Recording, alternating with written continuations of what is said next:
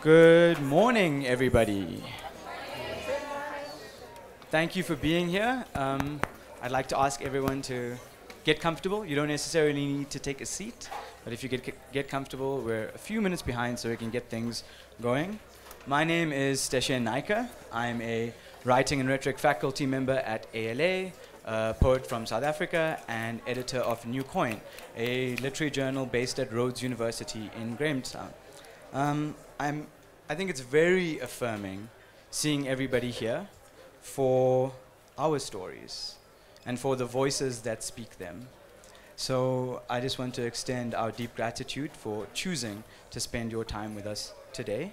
I think a fundamental aspect of rewriting African identities and post colonial projects across the world is telling our own stories. So I'm going to begin by asking our exquisite line of speakers to share a bit of their stories and how this relates to rewriting African identities.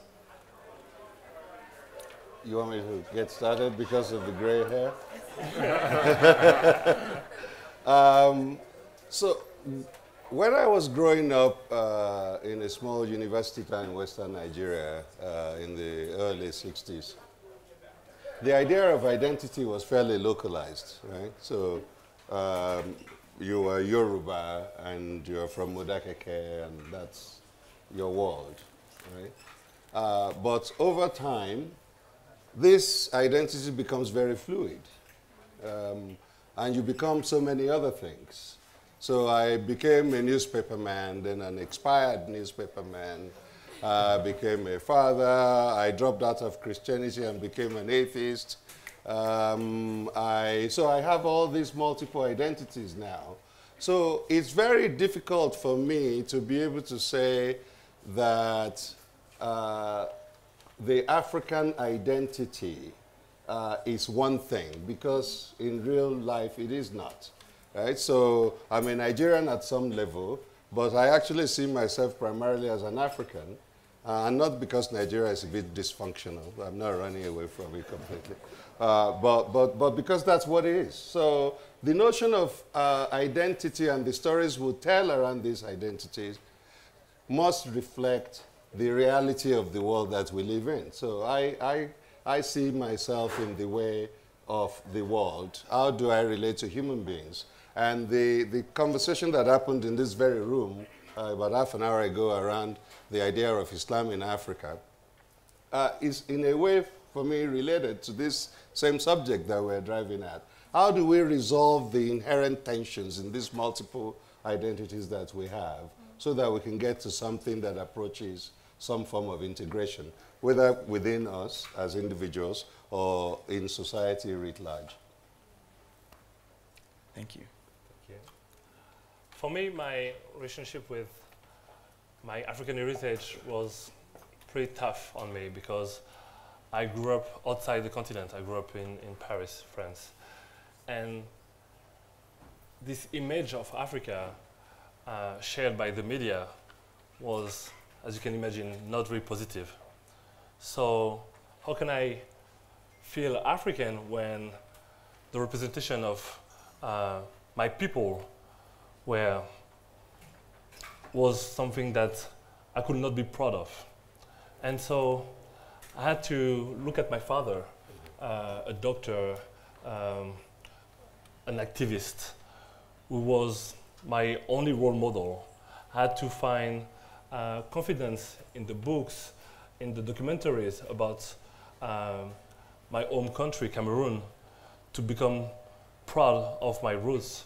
And so what I try to do now with uh, my media company and, and the the, the organization that I support is to create new role models, to create this new narrative, to celebrate our heritage, and give to the next generation hope. And, and you know, like now, I don't talk about me as a Cameroonian mm -hmm. guy. I say I come from Wakanda. What, what does that mean, Wakanda? Is this new movie? Uh, Sorry. All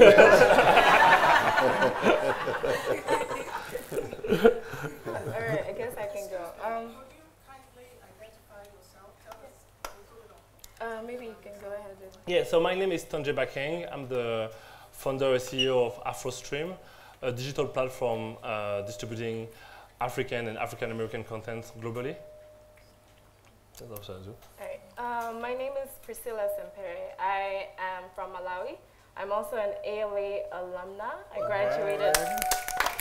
Um, I graduated from ALA in 2013, or actually, as we say at ALA, I joined ALA in 2011 because you never really graduate from ALA. um, and I am a student currently. I'm a senior at Smith College, um, which is in Massachusetts. And I'm also a children's book author. I write books for children. Um, and I'm here in many capacities as an alumna, as a children's book author, um, and just as someone who's also very invested in telling stories. Um, so how would I describe myself as it relates to African identity? I think thinking about my Africanness really began at ALA. Um, I think, like you were saying, my identity, my identity was very localized, and I think um, the way that we define ourselves is very relational. We define ourselves based on who we're surrounded with, um, and then based on what similarities we share with those people, or what distinguishes us from the people that we're surrounded with. So in Malawi, it was the tribe I belonged to, it was the city I lived in, it was the school I went to, and then suddenly I came to ALA, and there were 30 plus African identity, uh, African nationalities represented, and I became Malawian. And that didn't even carry that much meaning for me as a 16 year old at the time, besides the fact that that was the passport I held. And somehow at Cultural Exchange, that was the place that I was representing. Um, and then when I left and went for college in the United States, suddenly Africa became the most convenient way of describing myself. Firstly, because if you come from an inconspicuous country like Malawi, it follows a lot of questions if you say that you're from Malawi. Besides the fact that Madonna adopted some children from there, people, don't usually know much. And so to save myself the, the, you know, the toil of explaining where I come from, saying I'm African, um, becomes the most convenient thing to do. And I think that's when my African identity started to be something that I started to think about and engage a lot more. So yeah, that's how I define myself. All right, hi everybody. Um, my name is Uzo Iweala. I, um, if I had known this was going to be a group therapy session, I'm not sure I would have agreed to come. But I'm a novelist, uh, a filmmaker, and I don't know. Sometimes I, I should say probably like a failed doctor. Um, and I also run a magazine um, based out of Nigeria called Ventures Africa.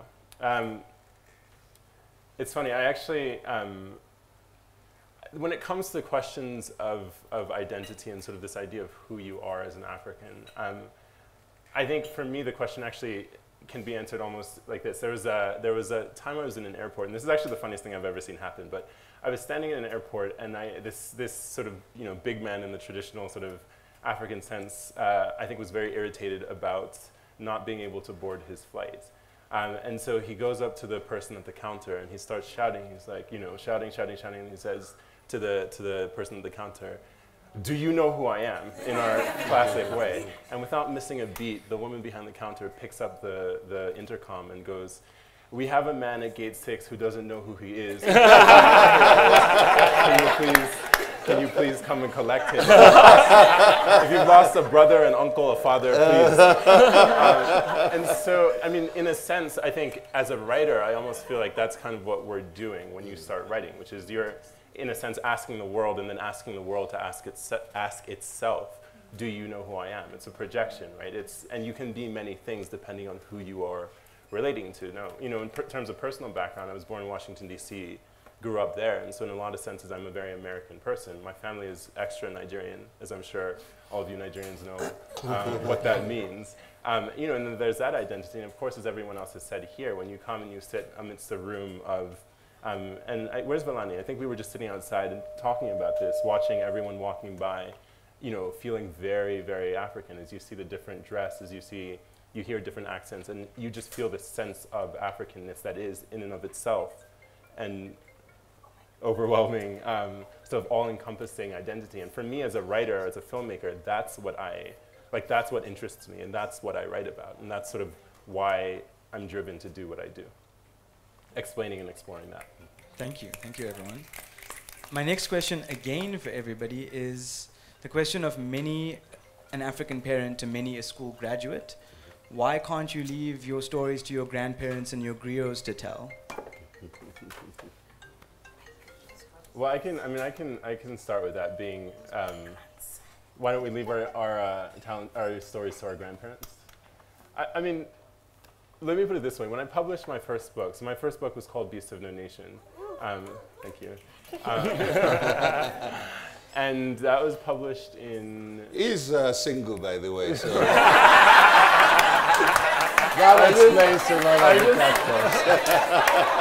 So my, my question first is, is did you speak to my mom before we came um, But I, I, so it was published in 2005, right after I finished college. And I, um, I remember taking the book to, to uh, give to my grandfather, because you know, here I am, I'm like, I published book, finally, like, you know, I, I, I can present it to my grandfather. This is my dad's dad, who's no longer with us, unfortunately. Um, and I remember the first thing he, he asked me when I told him I was going to study English in university, he said, English, but don't you already speak it? And I was like, um, and then, you know, Nigerians have no chill whatsoever. Um, and then the second thing was, so Beast of No Nation is written in a, in a constructed broken, broken English, I guess, if we want to call it that, almost like taking off a Ken Saro-Wiwa's Soza Boy, for those of you who know that book. Um, and so I, I give the book to my grandfather, um, he opens it and reads the first couple of pages and he says, but I thought you studied English. um, but which is all to say, I mean, I think the, you know, I think we, we, we often talk about this divide between sort of the older generations and the younger generations in terms of, of storytelling, which I actually don't think exists, if, you're, if I'm honest. I think we can separate that from the sort of, you know, our parents or grandparents wanting us to be professionals, which is one thing. Um, but I think the storytelling thing is very strong, and for me, that's actually where a lot of my desire to write came from. I mean, when I was really young, my father would sit us down and he would tell all kinds of folk tales, which I'm, you know, you are inherently adaptable, you know, transformable, you know, there's so much variation in them. And so when you see somebody making up story and transferring story to you, they become very invested in story as a form and as a craft and as a thing that you can do.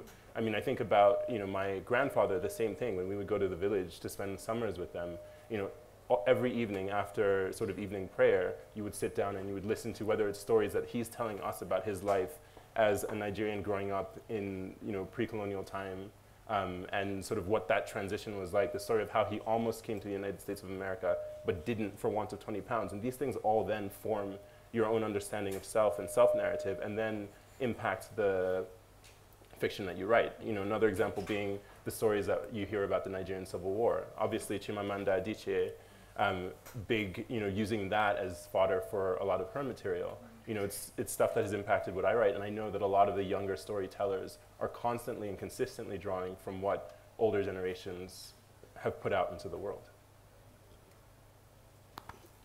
So the, uh, the imperative to write, to tell a story is sort of natural in all of us, right? And then to then master the craft and the discipline to actually do the writing uh, I found that in my case anyway, derived from the inspiration of environment. So it's another way of expressing what Uzo just said, which is that I'm growing up in a particular place at a particular moment. It's a university town. Uh, it's at the, at, the, at the dawn of independence of Nigeria. A lot of idealism. Uh, Wole Soyinka had just left Ibadan to come open the literature department at Ife. I was a few years old, and uh, they have the theater company that uh, tests out all their plays before they go on the road at the local theater. So it may be hard for younger Nigerians to believe this, but we actually used to go to theater on Sunday afternoons. and, and so, and then of course, uh, the newspapers that were, were uh, de delivered to the house, I think three of them in particular, the Daily Times, which was the continent's largest newspaper by far in the 60s, uh, and the Daily Sketch, and I think the Tribune or something like that. And so my dad would ask me to go pick up the papers from the vendor. So my curiosity uh, about being a newspaperman derived from that and seeing all of these columnists with their pictures in the paper. So mine in the beginning was quite ego-driven. I wanted my picture in that newspaper, right? So a combination of a sort of a cultural milieu that nourished your imagination in how you tell stories uh, and uh, the specific circumstance uh, of the time in history in which one uh, was being raised and the community in which one was raised. All of this sparked the desire to sort of create a career out of telling stories about people to other people. Uh, years ago, when I was covering uh, Asia for New York Newsday, I remember going to this uh, little village in Vietnam. I had gone to Vietnam specifically to write about the 30th anniversary of the My Lai massacre. I wanted to go and find the villagers and sort of write about what their lives look like now. Uh, and after I'd done that story, I then was told about this village outside Hanoi, where they have about 100 restaurants that all specialized in snake dishes. So I said, that sounds like an interesting story. Because I saw my role then, writing for this New York paper, most of the audience was on Long Island, some in Brooklyn and Queens. These people will never go anywhere in the world. So I was their representative there. So I imagined writing the story about this village and the snake dishes as holding these people by the hands and taking them into a Vietnamese uh, village and conducting a sense of what life was like there to them. I find it's the most powerful thing. And the fact that one got paid for this kind of thing was a miracle. Uh, because uh, I have never wanted to do anything else. So uh, your grandfather, well, my father would be that generation, right? And my father's sense was that going to University of Lagos to go and study journalism amounted to vagrancy. uh, and he didn't speak to me for three years, and I didn't want to do anything else. So we had a standoff, and I did what I had to do. So when I came out of the University of Lagos in 1981, and went to work for the National Concord, which is one of the big papers in Lagos at the time, with uh, MKO Abiola as the publisher. Uh, six days after I joined the paper as a young graduate, I got the big front page story with my byline on the front page of the paper. So finally I arrived, right? My dream since elementary school. So my mother called me and said, you see, your father called his friends to come drink schnapps with him when he saw this story. Because apparently it was the first time the family name had ever appeared in print. so, so must have been that. But the, the, but the imperative for storytelling and writing and so on is part of it is just your own ambition, but your ambition is sparked in the first place by the community and the environment in which you were raised. So wait, my question though is, what does snake taste like? uh, a cross between fish and chicken. Oh, really? Okay. uh, for me, like, um, I spent so much time talking with my parents, uh, talking about, you know, how they met, how, how it was to grow up in, in Cameroon. My father uh, lost his own father when he was seven. My mother lost her entire family when she was 10. Um, they grew up uh, by themselves.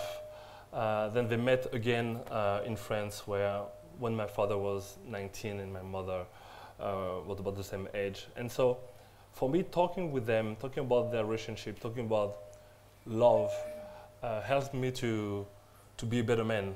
Helped me to better understand how I behave. Helped me to understand why I'm afraid to, to have my own family helps me to to to understand what is what it is to be African and, and, to create your, your own family. And so the story I try to, to promote and to, to, to share with the rest of the world are not just the big stories about countries, it's stories about our own relationships. It, it's so important and, and, and I realized that my parents were very supportive of you know, my actions in the media industry when, when they understood that my goal is to impact your lives. My goal is to help you to question um, your everyday life. Um, my goal is to help you to challenge the statu quo. Um, and I really think that media storytelling mm. can have this type of impact. So with like movies and series, we can have conversations that are so difficult to have in our own home. That's well. true. Very true. Um, so I think that, so for me, okay, so I think that the reason why I wouldn't leave storytelling to my grandparents or to my parents is because the way that we tell stories and the way that we listen to stories is changing. And I think the nature of stories is that stories beget stories, right? So um, telling stories leads to more telling of stories. So simply for that fact, growing up listening to stories, I just have that desire to tell stories. But beyond that, with the idea of um, the way that we listen to stories specifically changing, I think that there is so much meaning that stories hold, and I think it's in it's in discourse today. We hear it that especially for Africans and for African identity, and you know by extension for many contexts that um, especially grapple with the state of being post-colonial. Stories have been a political act, and they've been an act of resistance, and they've been an act of, you know, reclaiming a sense of identity that was lost through the violence of that process. And so, I mean, even even I mean, even when we're talking about African identity, that is that is a construction that we have kind of had to take up and define for ourselves because in the advent of defining what Africa was, that was a process of imperialism, and that was not a process of dignifying this space that was named Africa.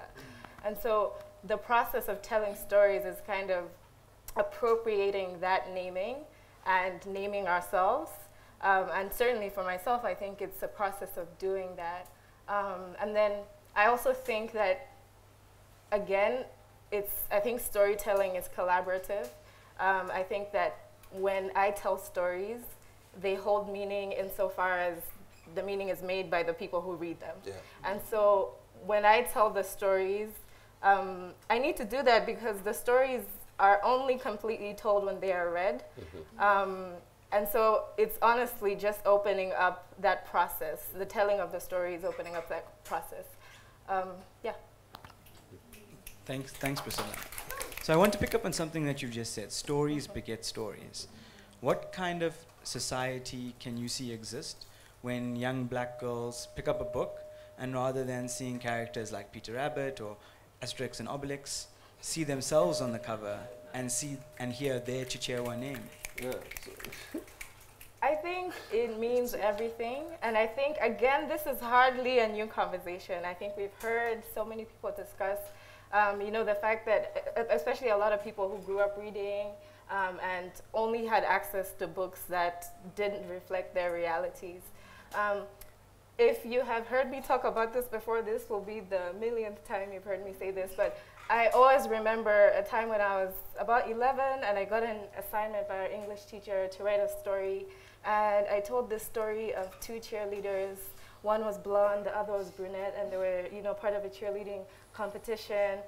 And this is completely absurd because I grew up in Malawi and there was no such thing as cheerleading in Malawi. And I picked that up from the stories that I was reading. And so, with that idea of stories begetting stories, those are the stories that I knew to tell. And um, so, I think it's important in terms of thinking about how stories are reproduced that if a young black girl sees herself in books, she knows that she can also be in a book and she can also tell a story that has her or someone who looks like her in a book. Um, and then I also think for non-black kids and for kids that are far removed from contexts like ours, um, that if they pick up a book that and they can see someone different in it, um, it's super important. So um, currently where I am, I'm in, in Massachusetts, about two hours from Boston, in a place that most people who aren't familiar with Massachusetts or the United States don't know. Uh, and there I, I will do readings in some of the kindergartens and some of this, the, the schools there. And it's usually so profound to see these mostly white kids who have never heard anything about Africa, and if they have, they've only heard bad things about Africa, just light up and, and wonder that this little eight year old is talking about things that they never imagined she could talk about. Um, and so, just that humanization of our people and our spaces and also complicating that. And, you know, so usually I'll, I'll ask kids if they can name any African countries and having them just name even two is always great. And then showing them a map and showing them how big the continent is and how many of us exist here is, is super important. So I think it's important for kids to see themselves, but also um, especially kids who belong to, you know, hegemonic groups or, or hegemonic cultures to see um, kids that don't look like them. Right. So uh, we, we didn't have this problem, uh, people of my generation, Emir Sanusi and so on. When, because when we were growing up, well, Kim is a couple of years ahead, so you um, uh, because that was not a problem for us. I mean, I, I was uh, acting in, in 12th Night. I think I played uh, uh, Malvolio in the Yellow Stockings or something uh, when I was in primary three. Uh, but also I wrote Yoruba poetry, right? And we were reading Achebe and we were reading all of these trials of Brother Jero. We didn't have this problem of not seeing ourselves reflected. It is just sad to me listening to this, and we've had these conversations with our daughters who are sort of your, your age and so on, uh, that we didn't bequeath to you the kind of legacy that was bequeathed to us. Yeah. We had no problem with this identity stuff. Our stories were fully and elegantly and beautifully told. I remember my immediate older brother wrote to me uh, when we were in elementary school. His mission in life was to collect every book in the African Writers series, which he did. And we all read everything together. We were competing for these things. This was the world in which we grew up. So what happened to us? Television. So, Huh? but, but, Television, wait, but I would, internet. I would actually, I would actually so, so we, we, it's actually a matter of reclaiming what was, not that this didn't exist before. So would- All the books we read was about African people, but it gave us the confidence to also act as Malvolio in 12th Night. Right. So what- right? what- so what I it, it wasn't an issue at all. I would say that is actually don't. I wouldn't. I wouldn't self-flagellate too much because I think you know all the books that we read also were about African people as well. I mean, I think I would say that your generation actually did do a pretty good job of handing over a whole set of stories to us. So I, I'm gonna clap for you because I don't. He's I being don't nice to me.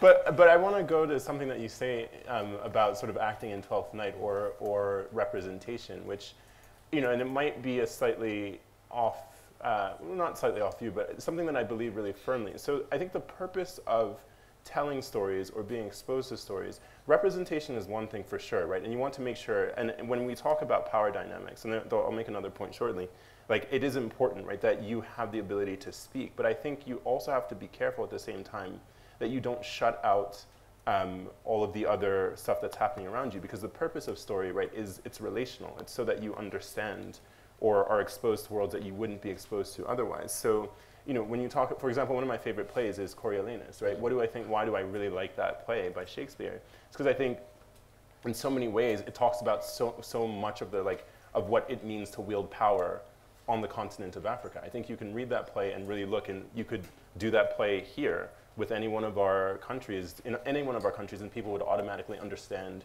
what you're talking about. They'd be both appalled and like sympathetic to the character of sort of like the dictator figure who is well-meaning in some ways right that's a that's a thing but like just because it's shakespeare doesn't mean that as an african you can't access it right at the same time i think what our problem has been is that people have generally assumed that we don't have stories that are that are universally Or worthy of telling. Exactly, Yes. right? And so I think that's the issue. But for me, I mean, like reading far and wide is is an or watching and wide, which what, however you consume, I think is an extremely important thing because if you don't, if you're so siloed in your understanding, then you essentially become just like the people that you complain about, right? Who are people who only read a certain thing, and it's incumbent upon you to know and to expose yourself through literature, through you know, the, through newspapers, through whatever media it is, so that you understand and can empathize with people as far as you can. And that's what I think we're all supposed to be in the business of doing.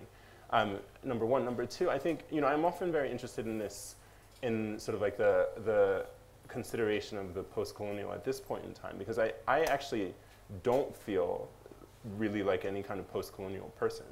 You know, I know that there's a- generation that does, but I think, you know, we've gotten to a point where we do, and a lot of our stories are not necessarily told in opposition to, right? Which is what I think the post-colonial is about in a lot of ways. I think our stories are our stories. And I think again, the more that that they're defined not in opposition to, but just as is, right? The the richer the experience of either telling or reading or interacting with that story is. And so that's kind of, in, in a sense, my mission is just like it is a story that exists, right? That is an African story, but it's not an African story in opposition to like a European story of the same sort, you know? So I just want to pick up on that idea of opposition and representation. So in an email I sent to Tonje, quite a quite a lengthy email detailing what today would be about, and his his brief response, and I'm paraphrasing broadly here, was, "Thank you. We should talk about Black Panther too." so I think I want to talk a little bit about opposition representation. AfroStream has been called in an article on OK Africa, Africa's Netflix. How do we reach a stage where Netflix is called America's AfroStream?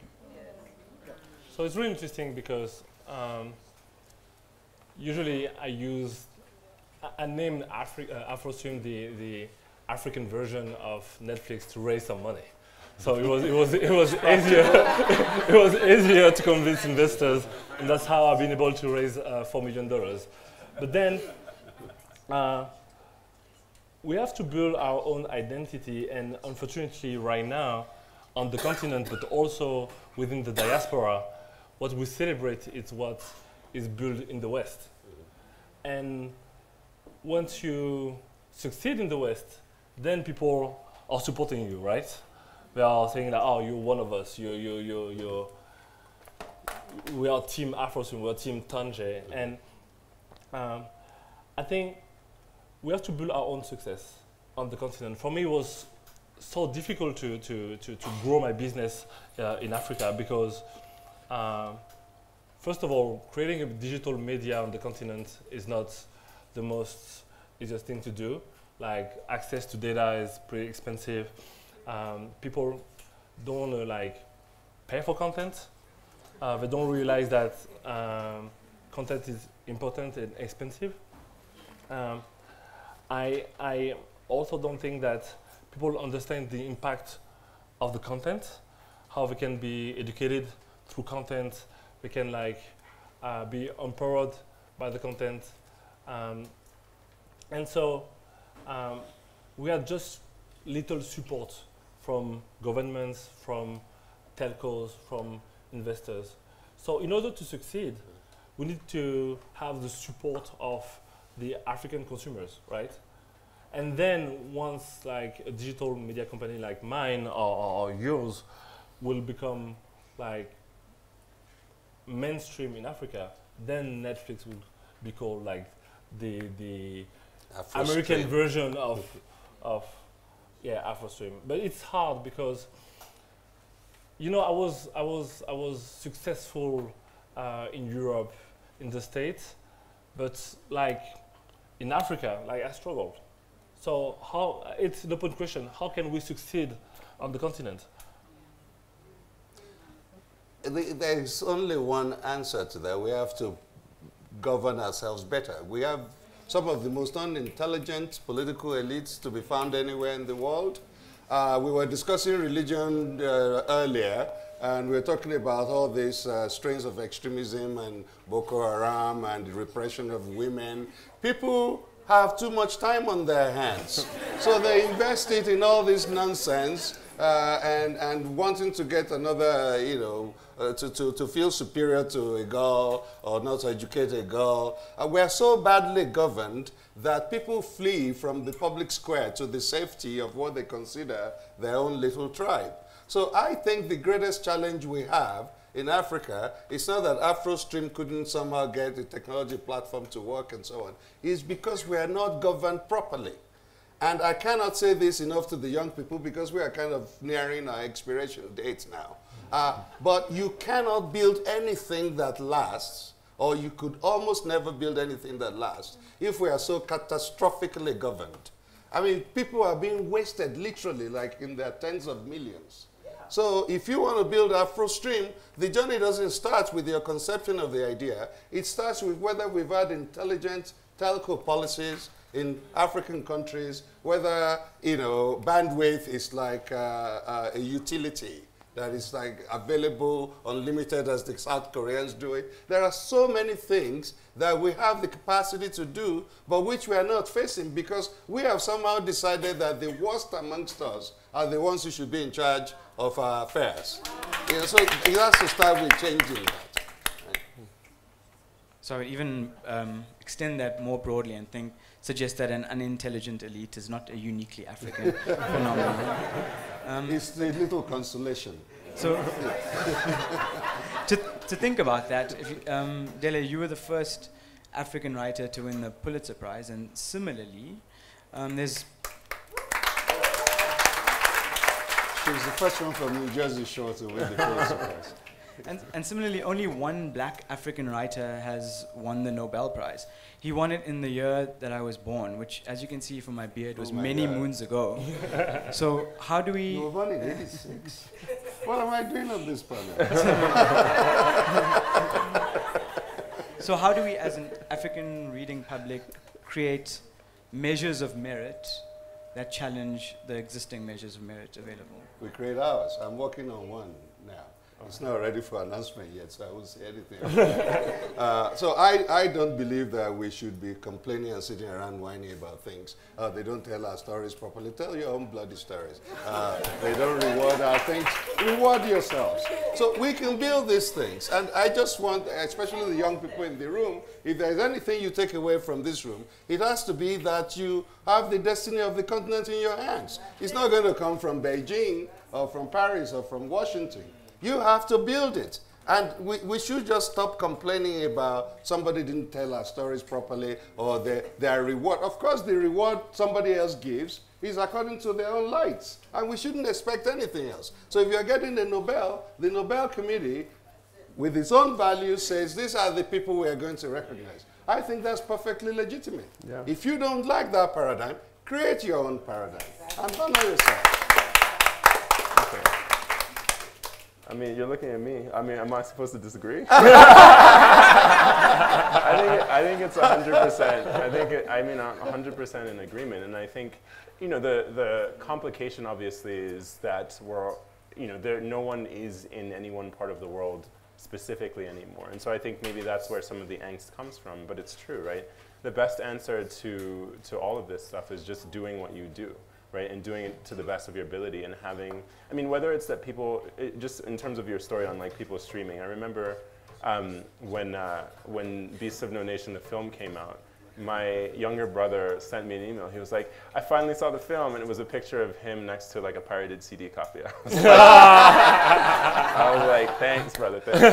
Um, but you know, I mean, it is that thing. Is like you have to, attitude-wise, and it's the same thing I think we're saying with stories. Is attitude-wise, you have to invest in your own existence, right? And I think that is what you know, in, in essence, what we're talking about. Yeah. So I mean, if there's a if there's a top literature prize for the continent, then you know, let's let's do it, right? If there's a top journalism prize, let's do it. I mean, I think one of the things that we found at Ventures um, was that you know you you like it is it is an investment in a person to be able to get someone to to like have the confidence right to tell your own story or to tell a story uh, anyone in particular. And then two it's it, it's a process right? This is not an overnight thing. And i mean it's the same it's like with writing with any sort of storytelling it is you know we were talking about this yesterday Karen, right? Like it's an iterative thing right? So every time you do it you get better at doing it you get better at doing it you get more able to understand what it is you're trying to do. And that takes a lot of time. So i wouldn't again i wouldn't sort of like be so hard in the sense that you know whether it's the story you tell the narrative you tell about governance or the narrative you tell about you know politics or or even just your own life love whatever that takes time to understand what you are telling and how you can tell it to the best of your ability. And i think we're all doing that. Everyone here is trying to do that in, in his or her own way and i think we should just keep trying. But I feel like even if we try to tell the best story in the world, uh, we need to educate our children and let them appreciate their own culture.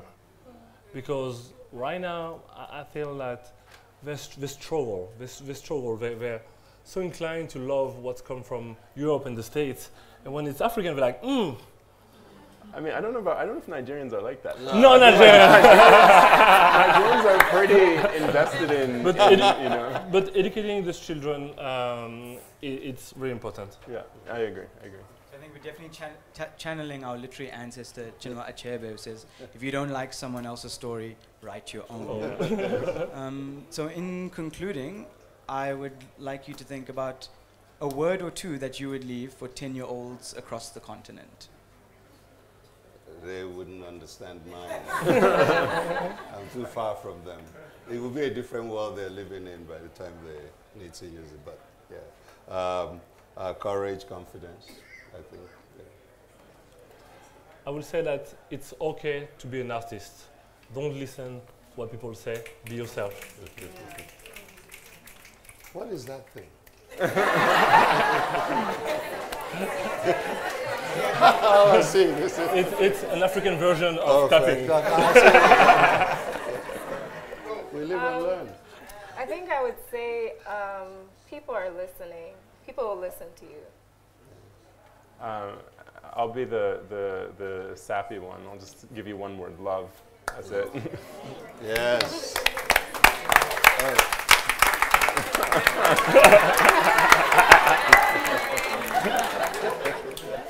I think that's a fitting way to end. Thank you, everybody, for Thank taking you. the time to be with us today.